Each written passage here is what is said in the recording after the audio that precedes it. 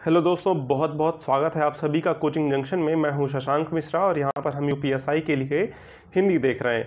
हिंदी में अभी तक हमने व्याकरण के अपने बहुत सारे टॉपिक कंप्लीट कर लिए, जिसमें हमने संधि देखा समाज देख लिया, अलंकार देख लिया हमने, और हमने वर्ण विचार भी कंप्लीट कर लिया। अपने पिछली क्लास में हमने संधि भी कंप्लीट कर लिया, छंद भी कंप्लीट कर लिया तो बहुत सारे टॉपिक हमारे इस व्याकरण के कंप्लीट हो गए हैं।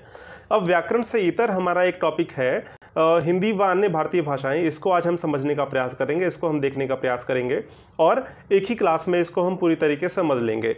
ये काफ़ी महत्वपूर्ण भी आपकी परीक्षा के लिए, यहाँ से प्रश्न आपके अक्सर पूछे जाते हैं। तो यहाँ पे जो जो प्रश्न आपके पूछे जा सकते हैं, जैसे भी प्रश्न जिस क्षेत्र से भी यहाँ पर पूछे जा सकते हैं, उन सबको यहाँ पर कवर करने का हम प्रयास करेंगे और इस एक क्लास में हम इन सारी चीज़ों को देख लेंगे पूरी तरीके से। तो चलिए शुरू करते हैं इसको हम।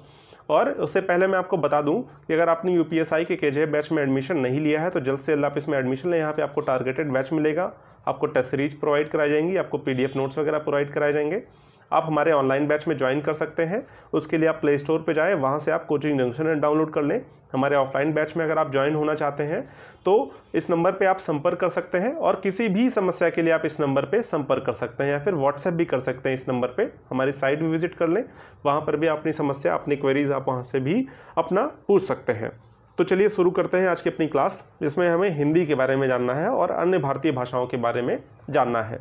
साथ साथ में आप लिखते हुए चलें, जो मैं यहाँ पे आपको बताता हुआ चल रहा हूँ। तो सबसे पहले हम हिंदी के उद्भव की बात करेंगे कि हिंदी की उत्पत्ति कैसे हुई, हिंदी भाषा की उत्पत्ति कैसे हुई। हिंदी का जो रूप हम देख रहे हैं, क्या वो ऐसे ही पूर्वत ऐसे ही चला आ रहा है या फिर या किसी अन्य भाषा से बना हुआ रूप है? तो इन सारी चीज़ों को यहाँ पर हम समझने का प्रयास करेंगे। तो सबसे पहले हम देख लेते हैं कि हिंदी का, हिंदी भाषा का उद्भव। हिंदी भाषा का उद्भव। मतलब हिंदी कैसे बनी? हिंदी की उत्पत्ति कैसे हुई, यह हम जान लेते हैं। दोस्तों, आपको पता है कि संस्कृत विश्व की सबसे प्राचीनतम भाषा है और हिंदी संस्कृत से ही बनी हुई है। लेकिन संस्कृत के यथारूप से हिंदी नहीं बनी। हिंदी संस्कृत के सरलतम रूप से बनी है। हिंदी जो है संस्कृत के एक सरल रूप से बनी है। वह सरल रूप कौन सी थी, यह हम देख लेंगे। अभी एक एक करके क्रम जो है संस्कृत का रहा है। जो भी इसके संस्कृत के सरल होने का जो क्रम रहा है, उसको हम समझ लेंगे। और उस सरल भाषा से किस भाषा से, किस सरल भाषा से संस्कृत के हिंदी बना है, वह भी हम देखते हैं। तो हिंदी का जो उद्भव है, वह जो है, सबसे पहले हिंदी संस्कृत जो है, वह क्या रही है? पहली जो संस्कृत थी, वह वैदिक संस्कृत कही जाती है।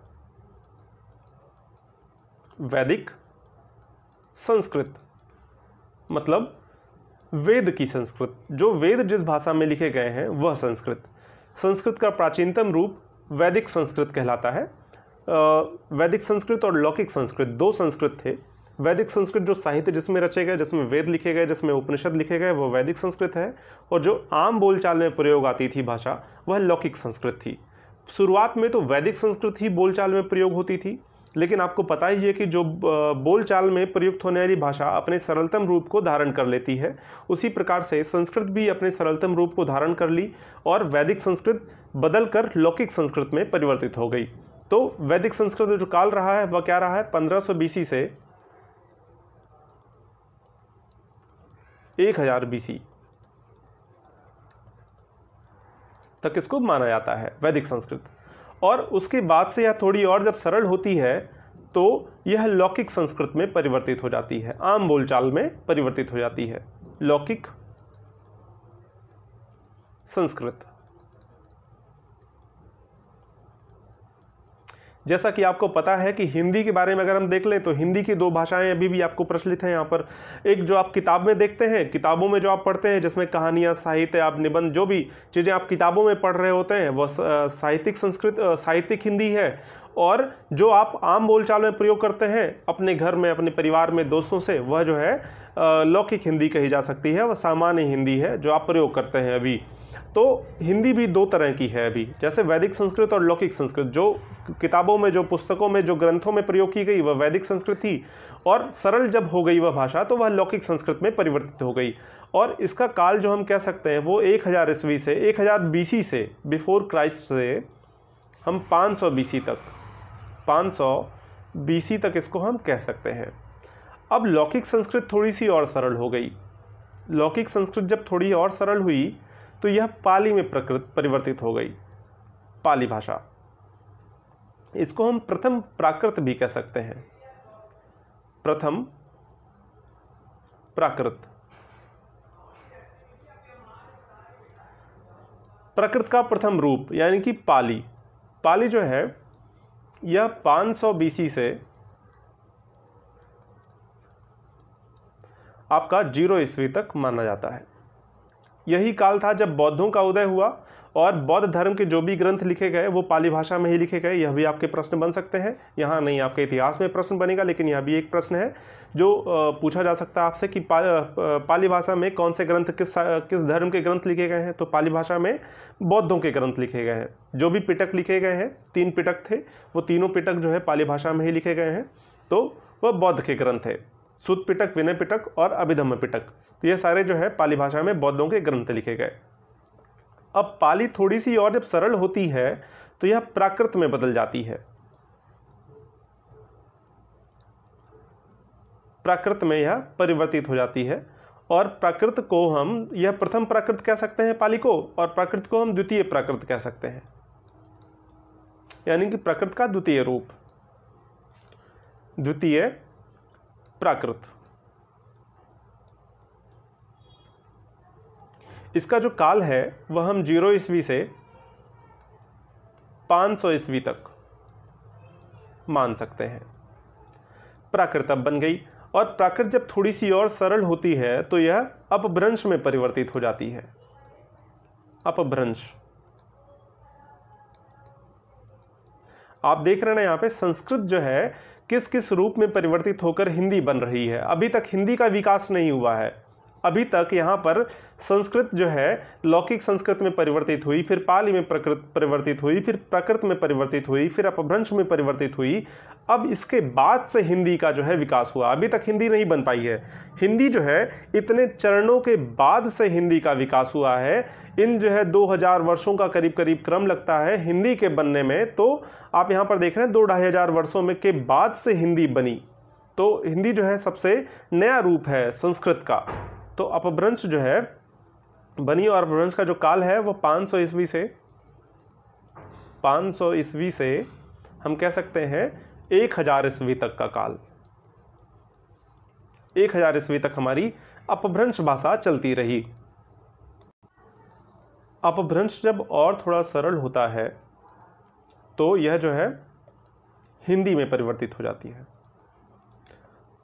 अपभ्रंश के बाद हिंदी का विकास हुआ। हिंदी आप देख रहे हैं ना, हिंदी इतने सारे चरणों को पार करने के बाद जो है, एक हज़ार ईस्वी से अभी तक जो चली आ रही है, अभी तक। अब आगे इसमें भी परिवर्तन हो रहा है। आप देख रहे हैं, इसमें अंग्रेज़ी के शब्द जुड़ते हुए चले आ रहे हैं, इंग्लिश में परिवर्तित हो रही है, इसमें उर्दू, फारसी और अन्य अन्य भाषाओं के शब्द बनते चले आ रहे हैं और हिंदी थोड़ी और सरलतम रूप धारण कर रही है। तो हिंदी में और भी अपने परिवर्तन आते रहेंगे। आने वाले समय में भाषा परिवर्तनशील है, आपको पता है। तो भाषा बदलती रहेगी, अपने सरलतम रूप को धारण करेगी। जहाँ पे भी क्लिष्टता रहेगी, जहाँ पे भी थोड़ी कठिनाई होगी भाषा में, वह ज़रूर बदलेगी और हर जो है समय में, हर काल में भाषा बदलती आई है और परिवर्तित होती आई है। भाषा को हम रोक नहीं सकते हैं। तो यह है, छठे नंबर पे क्या बन गई हमारी हिंदी। पहले वैदिक संस्कृत, फिर लौकिक संस्कृत बनी, फिर यह पाली में परिवर्तित हुई और फिर यह प्राकृत में परिवर्तित हो गई और उसके बाद से अपभ्रंश आया। अपभ्रंश की कई शाखाएँ थी। अपभ्रंश की एक शाखा से हिंदी का विकास हुआ है, वो अभी हम देख लेंगे। अपभ्रंश की किस शाखा से हिंदी का विकास हुआ है? अपभ्रंश के कौन कौन से रूप रहे हिंदी के विकास में? तो यह जो है हिंदी का विकास हो गया एक हज़ार ईस्वी में, और उसके बाद से आप तो पढ़ते ही हैं, एक हज़ार ईस्वी के बाद जो है हिंदी साहित्य का इतिहास। हिंदी में साहित्य लिखे गए, उनका क्या इतिहास रहा है? वह एक हज़ार ईस्वी से करीब करीब माना जाता है, रामचंद्र शुक्ल माना है। तो वह चीज़ें जो अलग बातें हो गई, वह साहित्य में हम देखेंगे। कब से कब और कौन कौन से काल रहे? हिंदी साहित्य के, इतिहास के। तो यहाँ पर हिंदी का विकास करीब करीब एक हज़ार ईस्वी से हो जाता है। अब हिंदी का जो पुराना रूप था, उसको हम अवहट्ट कह देते हैं। पुरानी हिंदी को हम अवहट्ट कहते हैं। इस बात को आपको ध्यान में रखना है। ऐसे प्रश्न पूछे जाएँ अवहट्ट क्या है? तो क्या है वह? हिंदी का जो नया रूप आप देख रहे हैं, वह अवहट्ट नहीं है, ना ही अपभ्रंश का कोई रूप है अवहट्ट अवहट्ट जो है हिंदी जब शुरुआती दौर में थी अपने, जब शुरुआत में हिंदी चल रही थी, जब बन रही थी हिंदी हिंदी का निर्माण जब हो रहा था, अपने शैशवा अवस्था में जब, ऐसा बोले, जब हिंदी अपने शैशवा अवस्था में थी तो वह, तब वह अवहट्ट कहला रही थी। तो उसको क्या बोलते हैं हम? अवहट्ट कहते हैं। इसको हम पुरानी हिंदी कह सकते हैं। पुरानी हिंदी गुलेरी जी ने कही है इसको। गुलेरी जी ने इसको क्या बोला है? पुरानी हिंदी बोला है। और अवहट किसने बोला है इसको? अवहट बोला है अब्दुल रहमान ने।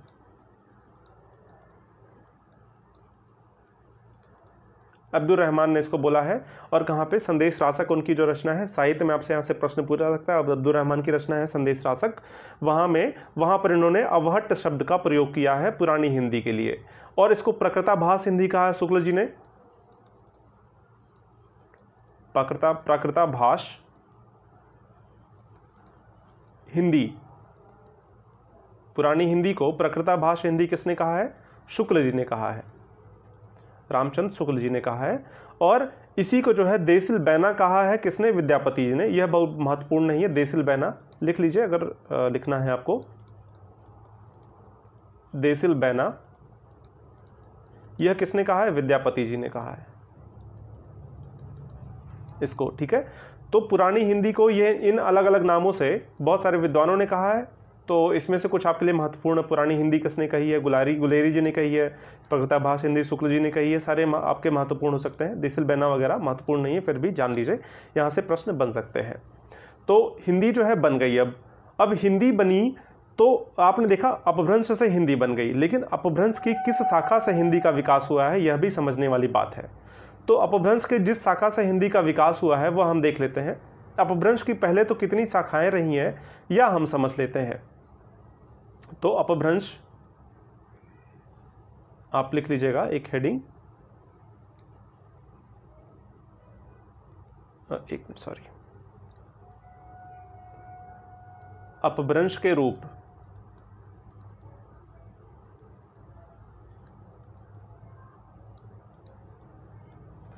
तो अपभ्रंश के पाँच रूप माने जाते हैं। पाँच रूप माने जाते। मुख्यतः पाँच रूप मैं कह रहा हूँ यहाँ पे। अपभ्रंश के वैसे तो बहुत सारे रूप रहे हैं, लेकिन प्रमुख रूप से पाँच ही हम कह सकते हैं। अभी हम सभी को देख लेंगे, लगभग पाँच ही को क्यों देखें? तो यहाँ पर अपभ्रंश के जो है, यहाँ पर पाँच रूप हो गए। पहला जो हो गया आपका मागधी अपभ्रंश अपभ्रंश की वह जो है भाषा, जो मगध क्षेत्र में बोली जाती थी, वह अपभ्रंश जो मगध क्षेत्र में बोला जाता था, वह क्या कहलाता था? मागधी अपभ्रंश इन सभी को आप लिखते हुए चलिएगा। परीक्षा में फिर दोहराने में बहुत आसानी होगी आपको। जिस क्रम में मैं यहाँ लिखता हुआ चल रहा हूँ उस क्रम में आप इसको लिखते हुए चलेगा। मगध क्षेत्र में जो भाषा बोली जाती थी, वह जो है, अपभ्रंश की जो भाषा जो है मगध क्षेत्र में बोली जाती थी, वह जो है मागधी अपभ्रंश कहलाती थी। तो मगध क्षेत्र में यह कह सकते हैं हम बिहारी हिंदी। मागधी अपभ्रंश जिसका विकास हुआ है, वह किसका किस भाषा का विकास हुआ है? बिहारी हिंदी का। बिहारी हिंदी। यानी कि अपभ्रंश का एक रूप है मागधी अपभ्रंश। मागधी अपभ्रंश कौन सा अपभ्रंश है? जो मगध के क्षेत्र में बोली जाती थी। और यहाँ पर किस हिंदी का विकास हुआ मागधी अपभ्रंश से? मागधी अपभ्रंश से बिहारी हिंदी का विकास हुआ है। बिहार में जो हिंदी बोली जाती है, उसका विकास किससे हुआ है? मागधी अपभ्रंश से हुआ है। अब हम देख लेते हैं, बिहारी हिंदी की कितनी बोलियाँ हैं, कितने और यहाँ पर बोलियाँ हैं। वह बिहारी हिंदी जो है, तीन जो है, बोलियों में बटा हुआ है। बिहार में तीन तरह की भाषाएँ हैं। पहला हो गया मगधी, मगही।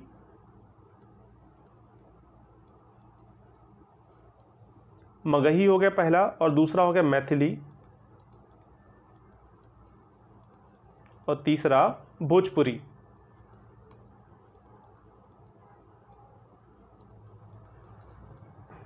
तो बिहारी हिंदी जो है, वह मगधी मगही, मैथिली और भोजपुरी में बटा हुआ है। प्रश्न आपके पूछे जा सकते हैं कि मागधी अपभ्रंश से किस भाषा का विकास हुआ है? आपके या तो वहाँ पर बिहारी हिंदी लिख दे, या फिर मागे, मगही लिख दे, मैथिली लिख दे या भोजपुरी। तो इन तीनों जो है बोलियों का जो है विकास किससे हुआ है? मागधी अपभ्रंश से हुआ है और यह बिहारी हिंदी की तीन शाखाएँ हैं। इस बात को आपको ध्यान में रखना है। अब हम देख लेते हैं अपभ्रंश की दूसरी जो शाखा रही है, वह क्या रही है? यहाँ से आपने देख लिया, अभी तो हिंदी का विकास मागधी अपभ्रंश से नहीं हुआ है। मागधी अपभ्रंश से किसका किसका विकास हुआ है? मगही का हुआ है और मैथिली का हुआ है और भोजपुरी का हुआ है। इन तीनों का विकास किससे हुआ? मागधी अपभ्रंश से हुआ है। अब जो दूसरा है, वह क्या कह सकते हैं हम? अर्धमागधी अर्धमागधी मगध के आसपास का और जो क्षेत्र रहा है, वहाँ पर अर्धमागधी जो है, अपभ्रंश का प्रयोग होता था।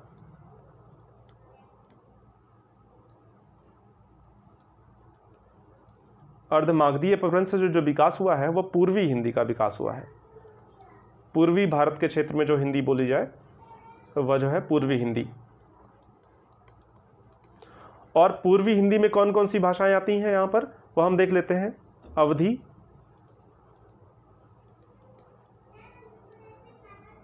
अवधि हो गया और दूसरा बघेली।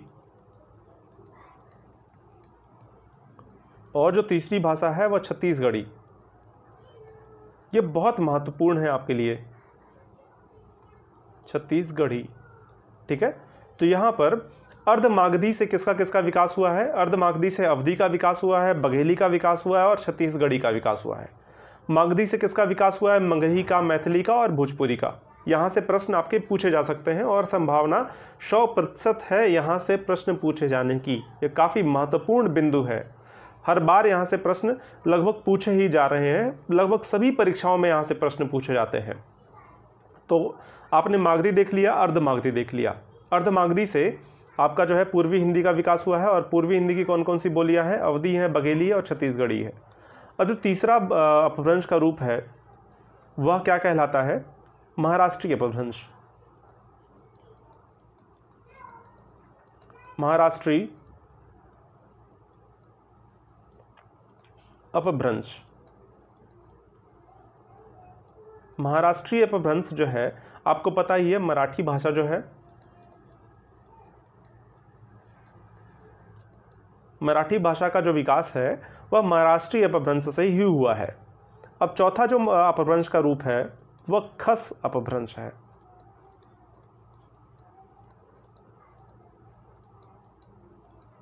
खस अपभ्रंश।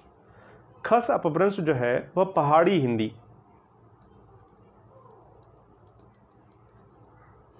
पहाड़ी हिंदी। यानी खस खस अपभ्रंश से कौन सी भाषा का विकास हुआ? पहाड़ी हिंदी का विकास हुआ। और पहाड़ी हिंदी में कौन कौन सी भाषा यहाँ पर मंडियाली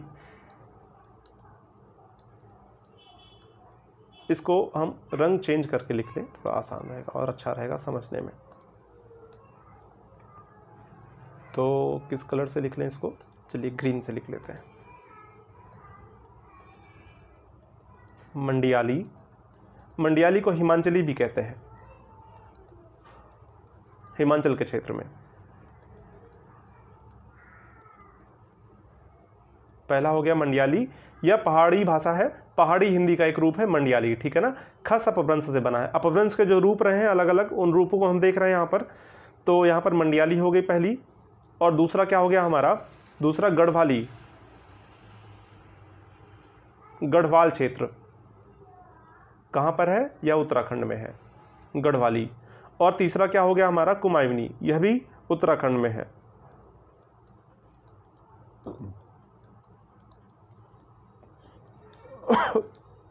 तो कुमाऊनी, गढ़वाली और मंडियाली, इनका विकास किससे हुआ है? खस अपभ्रंश से हुआ है। और खस अपभ्रंश से के किस भाषा से? हिंदी जो है पहाड़ी हिंदी से इनका विकास हुआ है, ठीक है ना? अब देखिए यहाँ पर एक चीज़ और। यहाँ पे गढ़वाली और कुमायूनी मध्यवर्ती पहाड़ी की भाषाएँ हैं। यहाँ पे कुछ भ्रम भी होते हैं, वह भी आगे हम समझ लेते हैं मध्यवर्ती पहाड़ी और बाकी चीज़ों में। मध्यवर्ती पहाड़ी। बहुत महत्वपूर्ण है ये सारे के सारे पोर्शन आपके लिए। और यह जो है पूर्वी पहाड़ी। पूर्वी पहाड़ी।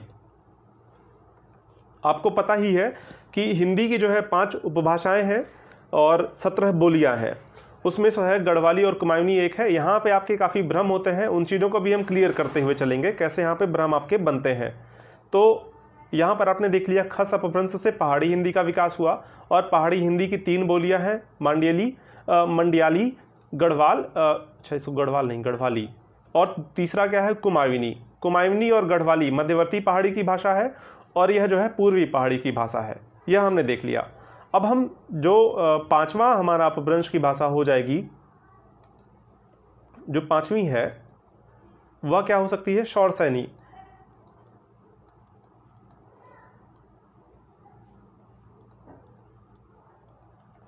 सूरसेन जनपद के आसपास जो भाषा बोली जाती थी, सौरसैन अपभ्रंश की, वह क्या कहलाती है? सौरसैनी अपभ्रंश। सूरसेन जनपद के आसपास यह भाषा बोली जाती थी, अपभ्रंश की, ठीक है ना? अब जो है, यह दो तरह के भाषाओं में बदल जाती है। दो तरह की भाषाएँ यहाँ से बन के बन के आती हैं। पहली है पश्चिमी हिंदी।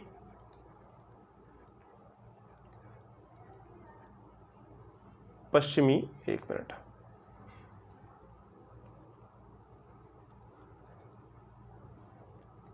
हिंदी और दूसरा है राजस्थानी।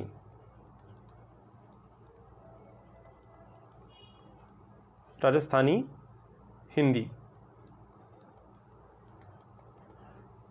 तो यहाँ से सौर सैनी अपभ्रंश से दो तरह की भाषाओं का विकास होता है। पश्चिमी हिंदी का विकास होता है और दूसरा राजस्थानी हिंदी का विकास होता है।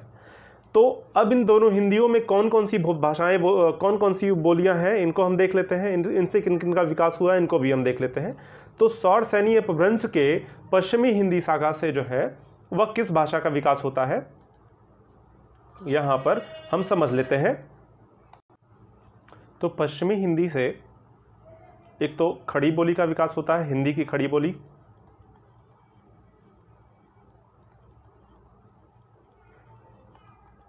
कन्नौजी।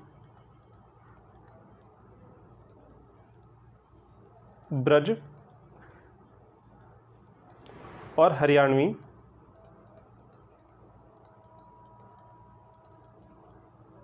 इसको हम नीचे लिखें थोड़ा, क्योंकि अभी राजस्थानी भी हमको लिखना है। हरियाणवी।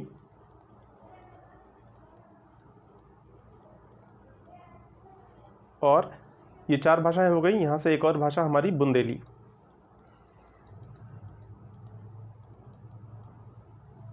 तो इन सारी भाषाओं का विकास जो है, पश्चिमी हिंदी से होता है। अब आपने देख लिया कि यहाँ पर खड़ी बोली जो है, वह किससे बन रही है? सौर सैन्य अपभ्रंश से बन रही है। तो परीक्षा में प्रश्न अगर बोला जाए, पूछा जाए आपसे कि हिंदी का विकास किससे हुआ है? खड़ी बोली को हम प्रायः हिंदी बोलते हैं, ठीक है ना? तो हिंदी की जो वर्तमान जो हिंदी का रूप है वह खड़ी बोली ही है। जो काफ़ी प्रचलित है, जो मानक भाषा है वह खड़ी बोली ही है। तो हिंदी की जो मानक भाषा है मतलब जो मानक हिंदी है या फिर खड़ी बोली है, उसका विकास सौर सैनीय अपभ्रंश से ही हुआ है। इस बात को ध्यान में रख के चलना है। प्रश्न यहाँ से पूछे गए हैं कि सौर सैन्य अपभ्रंश से किस भाषा का विकास हुआ है? तो यहाँ पर आपके हिंदी अगर विकल्प में हो तो हिंदी, कन्नौजी, ब्रज, हरियाणवी या बुंदेली आपके जो विकल्प में जो भी हो, यहाँ से वो सारे के सारे प्रश्न आपके यहाँ से हो जाएँगे। तो हिंदी का विकास अपभ्रंश की सौर सैनी शाखा से हुआ है। इस बात को मुख्यतः आपको ध्यान में रखना है। इस बात को हमेशा आपको ध्यान में रखना है। यहाँ से प्रश्न पूछे जा सकते हैं। तो खड़ी बोली का विकास सौर सैनी अपभ्रंश से हुआ है कन्नौजी का भी विकास हुआ है ब्रज का भी विकास हुआ है हरियाणवी का भी और बुंदेली का भी। तो यहाँ पर आ, हमने देखा क्या कि जो हमने देखा था ना कि हिंदी का जो उद्भव है वह किससे हुआ था? पहले वैदिक संस्कृत बनी फिर लौकिक बनी फिर पाली प्राकृत फिर अपभ्रंश और अपभ्रंश की सौर सैनी शाखा से। अपभ्रंश की सौर सैनी शाखा से हिंदी का विकास हुआ है। अपभ्रंश के बाद तो हिंदी बनी, यह बात सही है, लेकिन अपभ्रंश की किस शाखा से हिंदी बनी? अपभ्रंश की सौर सैनी शाखा से हिंदी बनी। इस बात का आपको ध्यान में रखना है। विकल्प में अगर मान लिया चार प्रश्न एक एक प्रश्न आपसे पूछा जाए, और वहाँ पर यह कहा जाए कि हिंदी भाषा का विकास निम्नलिखित में से किस भाषा किस जो है, भाषा से हुआ है तो आप वहाँ पर चार विकल्प हैं। मान लिया पहला विकल्प दे दिया वैदिक वैदिक संस्कृत। दूसरा विकल्प आपको मिल गया लौकिक संस्कृत। तीसरा विकल्प अपभ्रंश और चौथा विकल्प आपको मिल गया सौरसैनी अपभ्रंश। तो यहाँ पर जो आपका उत्तर हो जाएगा वह सौर सैनी अपभ्रंश ही हो जाएगा क्योंकि अपभ्रंश की सौर सैनी शाखा से ही यहाँ पर आ, हिंदी का विकास हुआ है। और अगर सौर सैनी अपभ्रंश विकल्प में नहीं है मान लिया आपके चार विकल्प दे दिए गए वैदिक संस्कृत, दूसरा हो गया पाली, तीसरा प्रकृत और चौथा अपभ्रंश। तो यहाँ पे आपका अपभ्रंश सही हो जाएगा।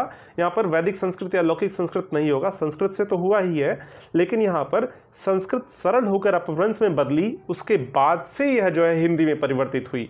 यहाँ पर आपको इस बात का ध्यान रखना है। अपभ्रंश से हुआ है और वहाँ पर शाखा भी दे दे तो सौर सैनी अपभ्रंश से हिंदी का विकास हुआ है। इसमें कोई कन्फ्यूज़न नहीं होगा, आपको बात समझ में आ गई होगी। तो यह बात हमने समझ ली। अब हम देख लेते हैं, पश्चिमी हिंदी का, सौर सैनी अपभ्रंश से जो है पश्चिमी हिंदी का विकास हुआ और राजस्थानी हिंदी का विकास हुआ। पश्चिमी हिंदी में कौन कौन सी चीज़ें हमने देख ली? खड़ी बोली कन्नौजी, ब्रज, हरियाणवी और बुंदेली। अब हम देख लेते हैं राजस्थानी हिंदी में कौन कौन से और भाषाओं का विकास हुआ है। तो राजस्थानी हिंदी में सबसे पहले तो जयपुरी हो गई। राजस्थान में जो है जयपुरी भाषा। जयपुर में जो बोली जाती है, जयपुर के आसपास के क्षेत्रों में जो बोली जाती है, मेवाती। मेवात क्षेत्र में। एक मिनट।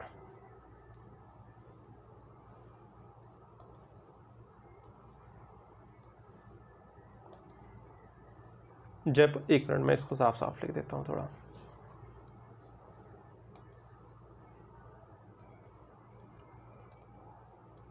जयपुरी, मेवाती मारवाड़ी मारवाड़ी। और क्या हो गई? यहाँ पर आपकी मालवी। मालवा के आसपास जो आपकी बोली जाती है। तो इन चार भाषाओं का विकास जो है, सौर सैनी भवंश की राजधानी हिंदी शाखा से हुआ है। इस बात का आपको ध्यान में रखना है। तो यहाँ से प्रश्न आपके पूछे जाते हैं और अक्सर पूछे जाते हैं, काफ़ी महत्वपूर्ण है। अब हमने देख लिया यहाँ पर। सौर सैनी अपभ्रंश। चलिए अब हम देख लेते हैं। ये पाँच तो हमने देख लिया। अपभ्रंश की ये जो है, पाँच शाखाएँ, पाँच रूप हो गए हमारे, लेकिन और भी बहुत सारे रूप रहे हैं अपभ्रंश के, उनको भी समझ लेते हैं। वहाँ से भी प्रश्न पूछे जा सकते हैं आपकी परीक्षा में। तो एक दो और रूप हम देख लेते हैं। छठा रूप लिख लीजिए यहाँ पे। वैसे तो मुख्यतः पाँच यही है जो मैंने आपको बताया भी, लेकिन छठा एक और लिख लीजिएगा पैसाची अपभ्रंश। पैसाची अपभ्रंश. पैशाची अपभ्रंश से पंजाबी का विकास हुआ है. पंजाबी भाषा का विकास जो है पैसाची अपभ्रंश से हुआ है और लहंदा भाषा. लहंदा भाषा भी पंजाब के आसपास के क्षेत्रों में बोली जाती है. लहंदा भाषा और पंजाबी भाषा इन दोनों का विकास किससे हुआ है? अपभ्रंश की पैसाची शाखा से, पैसाची रूप से इसका विकास हुआ है।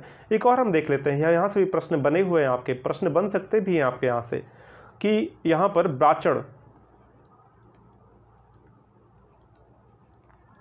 ब्राचड़ अपभ्रंश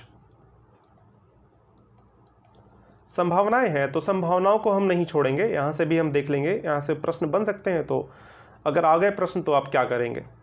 ब्राचड़ अपभ्रंश जो है, सिंधी भाषा का विकास हुआ है। सिंध क्षेत्र में जो बोली जाती है, सिंधी भाषा का विकास जो है ब्राचड़ अपभ्रंश से हुआ है। तो हमने यहाँ पर क्या क्या देख लिया? हमने यहाँ पर देख लिया कि हिंदी का विकास कैसे हुआ किन किन रूप से सरल होकर हिंदी बनी और अपभ्रंश की कौन कौन सी शाखाएँ थीं और किस किस शाखा से किस किस भाषा का विकास हुआ है। अब हम हिंदी की उत्पत्ति देख लेंगे। अच्छा उससे पहले हम कुछ और देख लेते हैं। चलिए हिंदी की उत्पत्ति ही हम पहले देख लेते हैं। हिंदी शब्द की उत्पत्ति हम देख लेते हैं सबसे पहले। तो हिंदी शब्द कैसे बना? हिंदी शब्द की उत्पत्ति कैसे हुई? हिंदी भाषा की उत्पत्ति तो आपने देखी ली। अब हिंदी शब्द की उत्पत्ति हम देख लेते हैं। उत्पत्ति। हिंदी शब्द की उत्पत्ति कैसे हुई है? तो आपको तो पता ही है कि हिंदी का विकास जो है, हिंदी शब्द जो है, वह सिंधु शब्द से बना हुआ है। इसको हम क्रम में समझ लेते हैं कि कैसे बना है। तो हुआ क्या? सिंधु नदी के आसपास के क्षेत्र को सिंधु नदी को हम सिंधु बोलते तो पहले इसको जान लेते हैं। चलिए, यहाँ से हम लिखते हैं इसको। एक मिनट।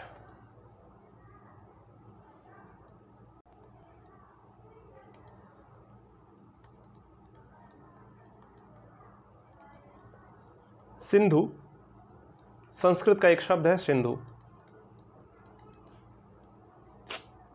एक मिनट।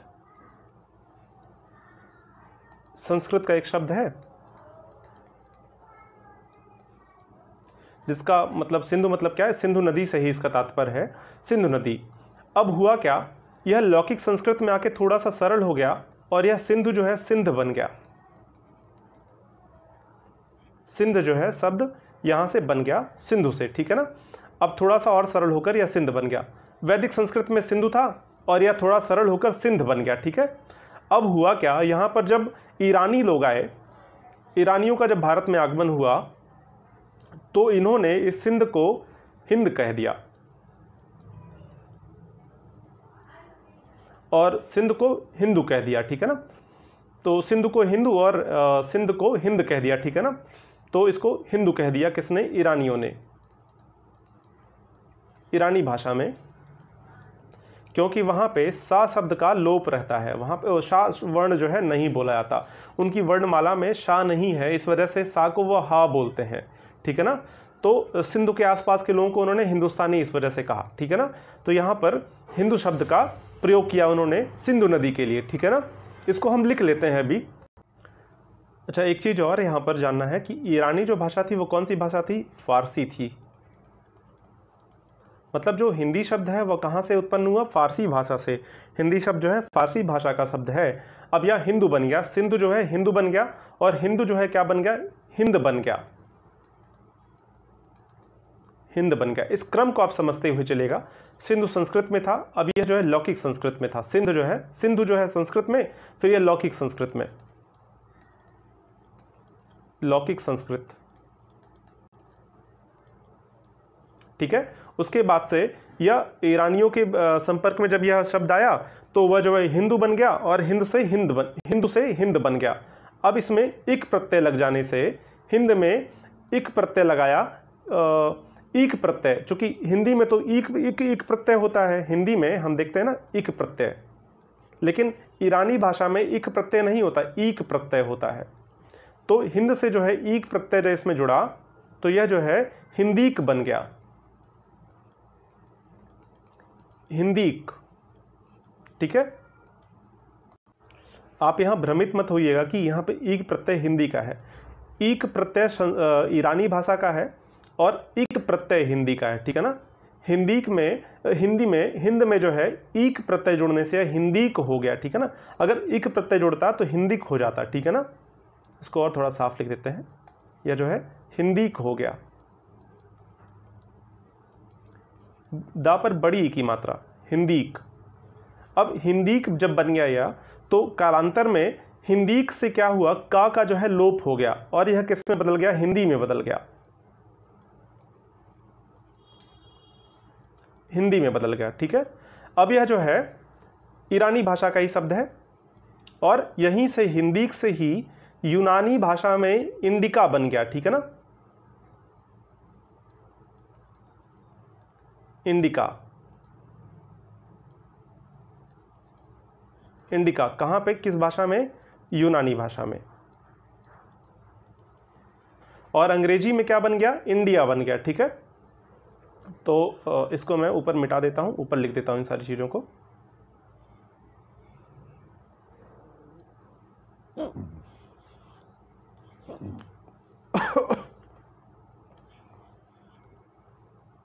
तो हुआ क्या? हिंदी से ही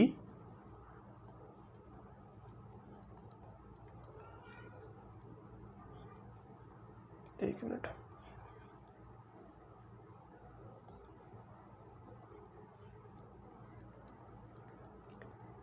हिंदी शब्द से यूनानी भाषा में इंडिका बना।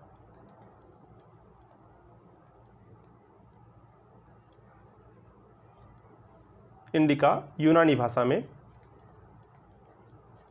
और अंग्रेज़ी में इंडिया।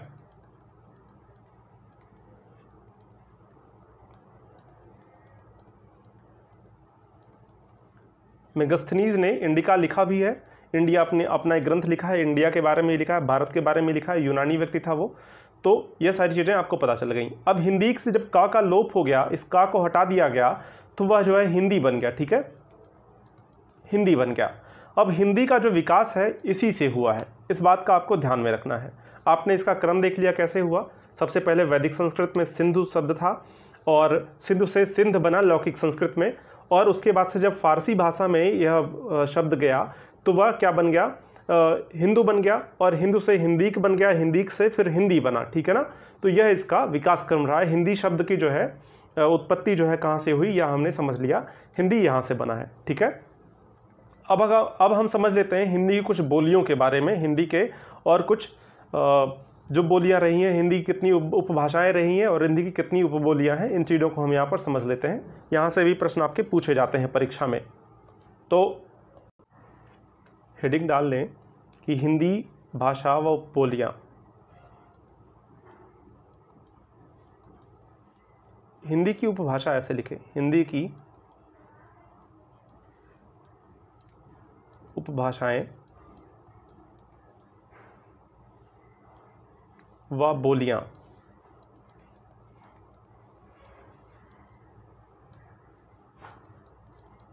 यह जो है आपका प्रश्न यहाँ से। तो अगर हम हिंदी के उपभाषाएँ और हिंदी की बोलियों की बात करें तो हिंदी की पाँच उपभाषाएँ हैं। पाँच उपभाषाएँ। एक मिनट। पाँच। उपभाषाएँ और सत्रह बोलियाँ हैं। कहीं कहीं पर यहाँ भ्रम हो जाता है कि अठारह बोलियाँ हैं, लेकिन यहाँ पर सत्रह बोलियाँ ही मुख्य हैं।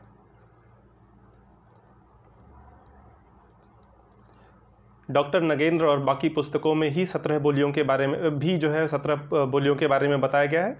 तो वही जो है सर्वमान्य है। काशी नागरी पचाड़ी सभा की पुस्तकों में भी सत्रह बोलियों के बारे में ही बताया गया है। पाँच उपभाषाएँ और सत्रह बोलियाँ। तो सर्वमान्य जो है, वह सत्रह बोलियाँ ही हैं। आपको भ्रम कहाँ हो जाता है कि अट्ठारह बोलियाँ हैं और कहाँ पर भ्रम हो जाता है कि यहाँ सत्रह बोलियाँ हैं? तो वह भी अब हम क्लियर कर लेंगे। अगर आप परीक्षा में पूछा जाता है और यहाँ दोनों सत्रह और अट्ठारह दोनों विकल्प आ जाते हैं तो यहाँ पर आपको सत्रह पर ही टिक करना है। वैसे अगर आ गया परीक्षा में सत्रह विकल्प नहीं है, विकल्प में अट्ठारह ही दिया हुआ है तो वहाँ पर आप अट्ठारह को टिक करेंगे। और वैसे अगर नहीं है तो आप सत्रह को ही टिक करेंगे। ठीक है? तो यहाँ पर हिंदी की उपभाषाएँ जो है, वो पाँच हैं। और बोलियों की बात करें तो सत्रह हैं। पाँच उपभाषाओं में अलग अलग बोलियाँ हैं, उनको हम देखते चलते हैं। एक एक करके हम सभी को देखेंगे। पहली जो उपभाषा है हिंदी की, उसको हम देख लेते हैं यहाँ पर। हिंदी की जो पहली उपभाषा है, वह है पश्चिमी हिंदी।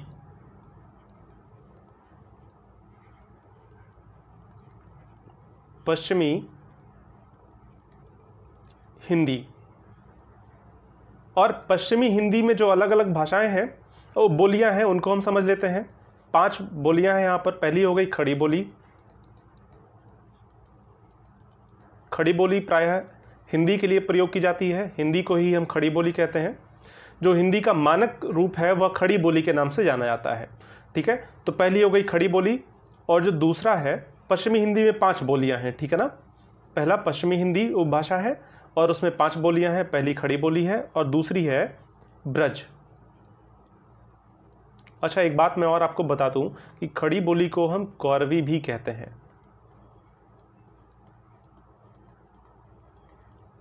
कौरवी भी इसको हम बोलते हैं, ठीक है ना? दूसरी हो गई हमारी ब्रज और तीसरी हमारी कन्नौजी। फिर बुंदेली।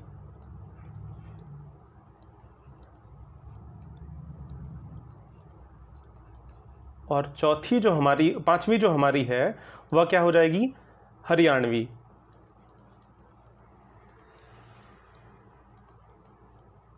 इसको हम बांगरू भी कहते हैं।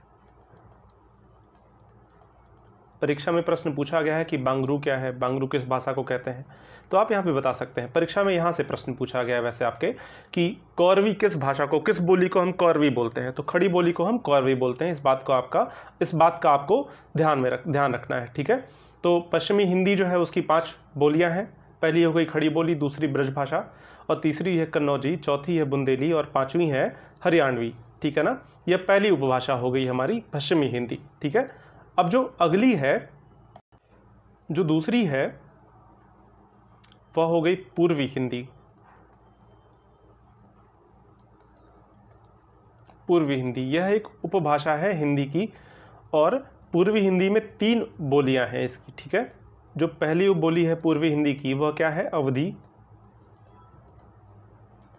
यहाँ से भी प्रश्न पूछा गया है कि पूर्वी हिंदी की ऐसे चार विकल्प दे दिए गए। पूर्वी हिंदी की कौन सी बोली है? वहाँ पे अवधि दे दिया गया और तीन और अन्य दे दिए गए। वहाँ पे आपको अवधि यहाँ पे सही हो जाएगा। विकल्प में अवधि ही था तो अवधि वहाँ पे उत्तर भी सही था। इस तरह के प्रश्न पूछे गए हैं पिछली परीक्षाओं में आपसे, ठीक है? तो यहाँ पर पूर्वी हिंदी में, पूर्वी हिंदी भाषा में आपकी अवधि पहली बोली हो गई और जो दूसरी है, वह बघेली हो गई।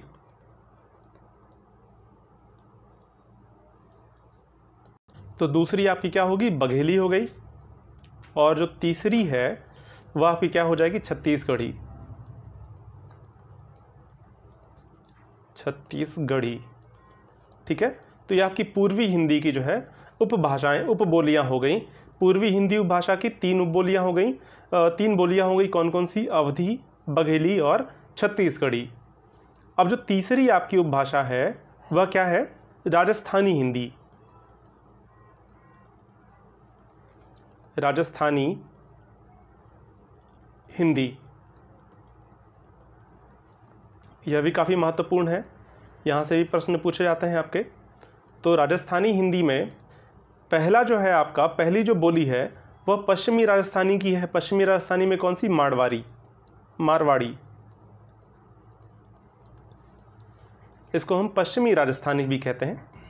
जो दूसरी है, वह पूर्वी राजस्थानी मतलब जयपुरी। और जो तीसरी है, वह क्या हो जाएगी? मेवाती, मेवात के क्षेत्र में। इसको हम उत्तरी राजस्थानी कहते हैं, ठीक है? पश्चिमी राजस्थानी, पूर्वी राजस्थानी, उत्तरी राजस्थानी और चौथा क्या है? दक्षिणी राजस्थानी। वह कौन सी हो जाएगी? मालवी। मालवी भाषा, ठीक है? तो यह हमारी राजस्थानी हिंदी की जो है, उप बोलियाँ हो गई चार उप बोलियाँ राजस्थानी हिंदी की हैं। पहला आपने क्या देखा? पाँच बोलियाँ पश्चिमी हिंदी की हो गई पाँच ये हो गई पहली और फिर तीन ये आपकी कौन सी हो गई? पूर्वी हिंदी की हो गई फिर चार आपकी कौन सी हो गई? माल जो है राजस्थानी हिंदी की हो गई। पाँच तीन आठ और चार आपकी बारह ये हो गई। सत्रह बोलियाँ कुल मिला जुलाकर हैं तो तीन उपभाषाएँ आपने पढ़ ली और सत, जो है बारह बोलियाँ आपने यहाँ पर पढ़ ली। और बाकी जो है उनको भी हम एक एक करके देख लेते हैं। जो चौथी है हमारी चौथे नंबर पे जो हमारी भाषा है, उप, उपभाषा है, पहाड़ी हिंदी। पहाड़ी हिंदी। अब पहाड़ी हिंदी की जो बोलियाँ हैं, उनको हम देख लेते हैं। पहाड़ी हिंदी में एक तो हो गई आपकी मध्यवर्ती पहाड़ी मध्यवर्ती पहाड़ी, पहली, ठीक है? भ्रम आपका यही होता है। सत्रह सत्रह बोलियाँ हैं या अट्ठारह बोलियाँ हैं आपका भ्रम यहीं पर होता है। तो इस बात को आपको ध्यान में रखना है। यहाँ पे भ्रम अभी आपका यहाँ पे क्लियर हो जाएगा कि आ, कितने कितनी बोलियाँ हैं एग्जैक्ट कितनी बोलियाँ हैं यहाँ पर हम समझ लेंगे। पहली हो गई मध्यवर्ती पहाड़ी और दूसरी हो गई आपकी पश्चिमी पहाड़ी।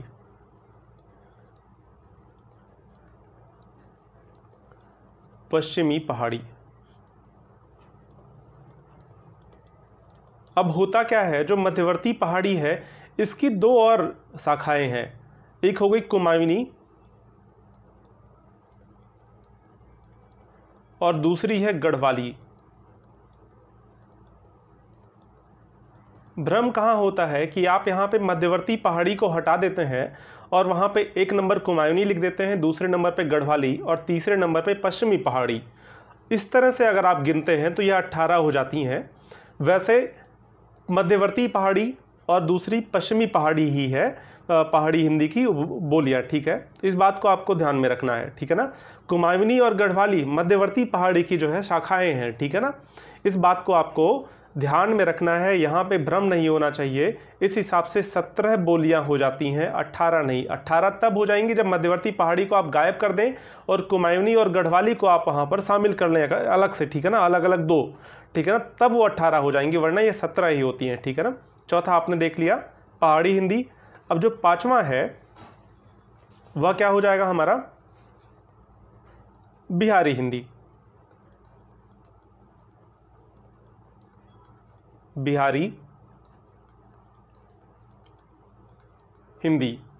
अब बिहारी हिंदी में जो है तीन हमारी बोलियाँ हैं। पहली हो गई कौन सी? मैथिली। पहली मैथिली हो गई।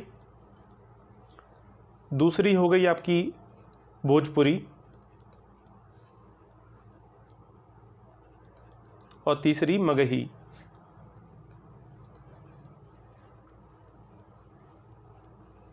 तीसरी आपकी हो गई मगही। तो यह पाँच जो है आपकी उपभाषाएँ हैं और इन पाँचों उपभाषाओं में सत्रह बोलियाँ। ये आपने सत्रहों को देख लिया यहाँ पर। कौन कौन सी? पहली उपभाषा आपकी कौन सी थी? पश्चिमी हिंदी, उसमें आपने खड़ी बोली देखा, ब्रज देखा, कन्नौजी, बुंदेली और हरियाणवी, यह आपने समझ लिया। और जो दूसरी थी, वह पूर्वी हिंदी है, जिसमें अवधि, बघेली और छत्तीसगढ़ी आपने तीन ये देख लिए। और तीसरी जो है, वो राजस्थानी हिंदी है, जिसमें मांडवारी, जयपुरी, मेवाती और मालवी आपने देख लिया। और जो चौथी है, वह आपने क्या देखा? पहाड़ी हिंदी देखा। पहाड़ी हिंदी में मध्यवर्ती पहाड़ी और पश्चिमी पहाड़ी। मध्यवर्ती पहाड़ी में कुआवनी और गढ़वाली यह दो है उसकी शाखाएँ। और फिर पांचवा जो उपभाषा है आपकी, वह है बिहारी हिंदी।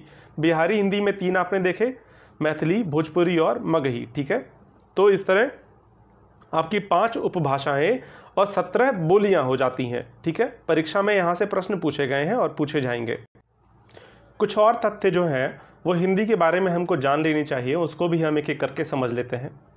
यहाँ पर आप हेडिंग डाल लें, कुछ महत्वपूर्ण तथ्य।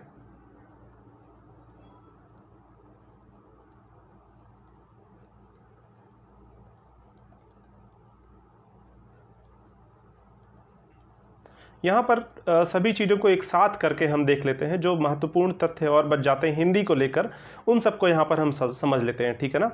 सबसे पहला है कि जो हिंदी है हिंदी को संविधान की आठवीं अनुसूची में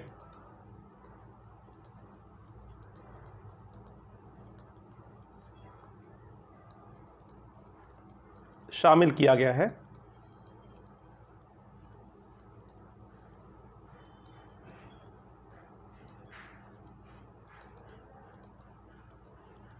ठीक है?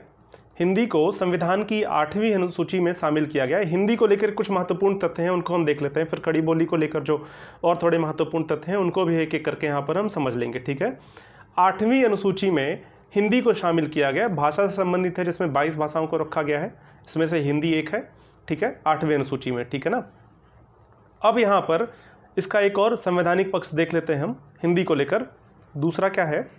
कि एक मिनट मैं रंग बदल लूँ।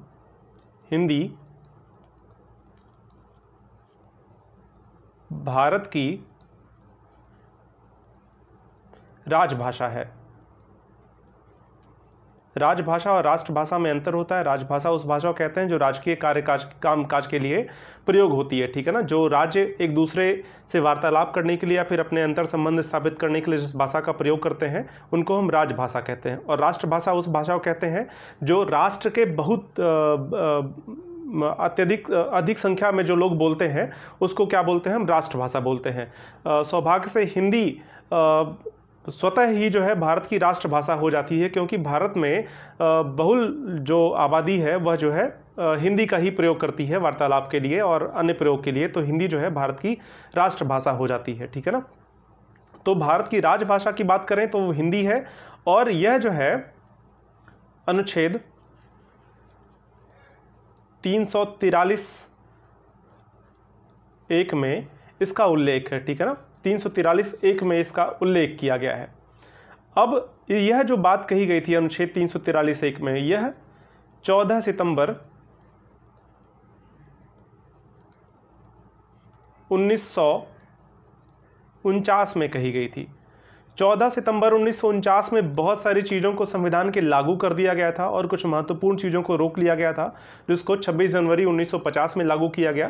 तो 14 सितंबर 1950 में हिंदी को राजभाषा के रूप में लागू कर दिया गया था, ठीक है ना? तो इसी वजह से 14 सितंबर को हम क्या करते हैं? हिंदी दिवस भी मनाते हैं। हिंदी दिवस। महत्वपूर्ण है, आपकी परीक्षा में पूछे गए हैं, यहाँ से प्रश्न। तो अनुच्छेद तीन जो है उसमें हिंदी को राजभाषा कहा गया है और 14 सितंबर उन्नीस सौ उनचास में इसको राजभाषा का दर्जा दिया गया था। उन्नीस सौ उनचास में 14 सितंबर के दिन इस वजह से 14 सितंबर को हम हिंदी दिवस के रूप में भी मनाते हैं, ठीक है? यह हो गई कुछ संवैधानिक बातें जो संविधान में हिंदी को लेकर कही गई हैं, ठीक है ना? अब हम और समझ लेते हैं कुछ हिंदी को लेकर और बातें अपनी जो हैं। अब जो तीसरा तथ्य है, वह हम समझ लेते हैं हिंदी को लेकर। खड़ी बोली जो है,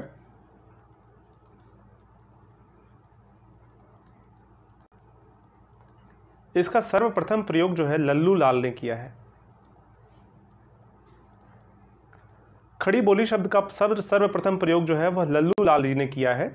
इस बात को ध्यान में रखना है, परीक्षा में पूछे जाते हैं। और कौरवी शब्द का प्रयोग कौरवी शब्द का प्रयोग जो है खड़ी बोली के लिए, हिंदी के लिए, वह शुक्ल जी ने किया है। शुक्ल जी ने किया है, रामचंद्र शुक्ल जी ने और धीरेन्द्र वर्मा वर्मा ने। धीरेन्द्र वर्मा। धीरेन्द्र वर्मा नहीं याद रखना है, शुक्ल जी को याद रखना है, क्योंकि यहाँ से प्रश्न पूछे जा सकते हैं। महत्वपूर्ण है शुक्ल जी आपके, ठीक है ना?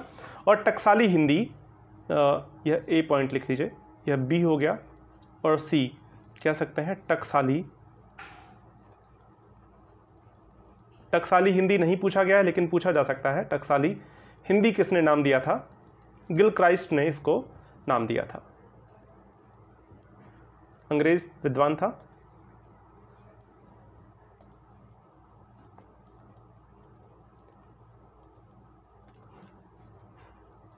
गिल क्राइस्ट। ठीक है? तो गिल क्राइस्ट ने आ, क्या कहा था? टकसाली हिंदी कहा था हिंदी को खड़ी बोली को। ठीक है? Gilchrist Fort William College Calcutta से संबंधित है। उसके प्राध्यापक थे ये, ठीक है ना? इस बात को अतिरिक्त थोड़ी जानकारी है, इसको ध्यान में रखिएगा। अब चौथा जो खड़ी बोली को लेकर हमारा जो तथ्य है, वह क्या है? खड़ी बोली का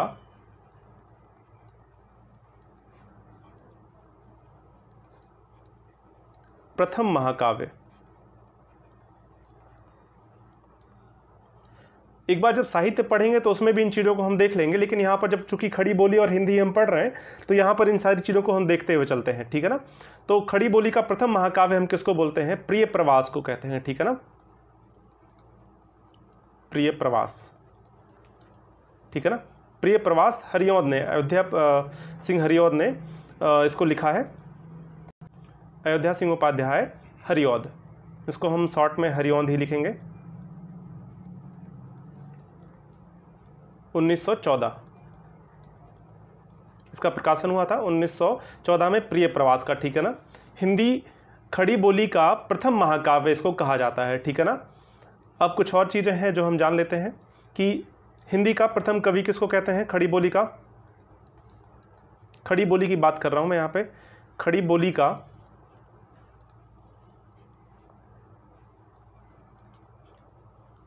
प्रथम कवि। अमीर खुसरो कहते हैं। अमीर खुसरो। एक मिनट।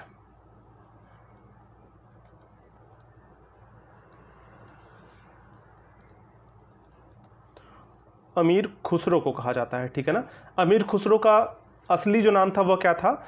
अमीर खुसरो का असली नाम अब्दुल रहमान था, ठीक है ना? अब्दुल रहमान इनका असली नाम था।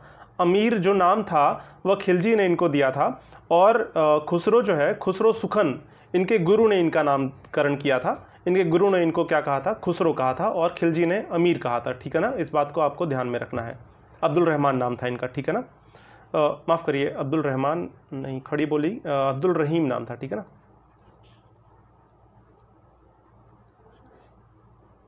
अब्दुल रहीम, अब्दुल हसन नाम था इनका, ठीक है ना? अब्दुल हसन। अमीर खुसरो का जो नाम था, अब्दुल हसन था। असली नाम इनका अब्दुल हसन था, ठीक है ना? और इनको अमीर कहा था किसने? अमीर नाम दिया था खिलजी ने, ठीक है ना? और खुसरो नाम दिया था इनके गुरु ने, ठीक है ना? इज़ुद्दीन ने। अब हम देख लेते हैं। और भी कुछ चीज़ें हैं जो खड़ी बोली को लेकर महत्वपूर्ण है।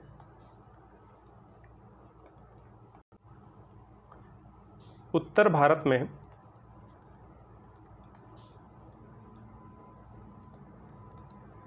खड़ी बोली का।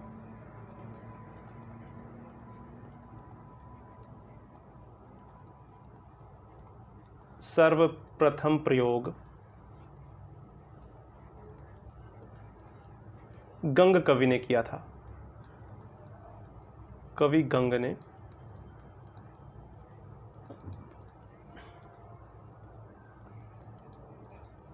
किया था। किस रचना में चंद छंद वर्णन की महिमा? चंद छंद वर्णन की महिमा। कवि गंग कौन थे? तुलसीदास जी के साले थे, ठीक है ना? कवि गंग तुलसीदास जी के साले थे। रत्नावली के भाई तुलसीदास जी की पत्नी का क्या नाम था? रत्नावली। रत्नावली के चचेरे भाई थे ये। चचेरे भाई थे ठीक है ना? इस बात को ध्यान में रखना है। एक और अतिरिक्त जान अतिरिक्त जा, अतिरिक्त अतिरिक्त जानकारी है कविगंग के बारे में कि कविगंग को नूरजहाँ ने हाथी से अपने कुचलवा दिया था। नूरजहां ने मरवा दिया था कविगंग को, चूँकि कविगंग ने नूरजहाँ की चापलूसी नहीं करी थी। नूरजहाँ के बारे में जो है, उसकी प्रशंसा में कोई पंक्तियाँ नहीं लिखी, इस वजह से कवि गंग को हाथी से कुचलवा दिया था नूरजहाँ ने, ठीक है ना? और फटकारते हुए एक बहुत ही तीक्ष्ण, व्यंगात्मक पंक्ति लिखी थी, जिससे गुस्सा कर उसने क्या किया था? हाथी से कुचलवा दिया था गंग को, ठीक है ना? तो यह हो गया उत्तर भारत में खड़ी बोली का सर्वप्रथम प्रयोग किसने किया था? कवि गंग ने किया था, चंद छंद वर्णन की महिमा में किया था, ठीक है ना? और अगर दक्षिण भारत की बात करें तो दक्षिण भारत में सर्वप्रथम प्रयोग किसने किया था? दक्षिण भारत में सर्वप्रथम प्रयोग मुल्ला वजही ने, मुल्ला वजही इनकी रचना थी सबरंग। इसमें इन्होंने मुल्ला वजही ने किया। ठीक है ना? यह कुछ बातें थी जो आपको ध्यान में रखनी है यहाँ पर। तो अ, कुछ महत्वपूर्ण बातें खड़ी बोली को और हिंदी को लेकर ठीक है ना? तो यह कुछ महत्वपूर्ण बातें थी खड़ी बोली को लेकर ठीक है ना? अब यहाँ पर हमारी क्लास ख़त्म होती है अ, हिंदी की उपभाषा और बोली के बारे में ठीक है ना? और यहाँ से ही प्रश्न आपके पूछे जाएँगे, इससे बाहर कोई भी प्रश्न नहीं बचता है। और भी जो प्रश्न आपके होंगे, वो हिंदी साहित्य जब हम देखेंगे तो दो चार जो प्रश्न और फैक्ट आपके हो सकते हैं, जो तथ्य हो सकते हैं, वहाँ पर और हम उसको समझ लेंगे। और तब तक के लिए पढ़ते रहिए, मुस्कुराते रहिए। जय हिंद।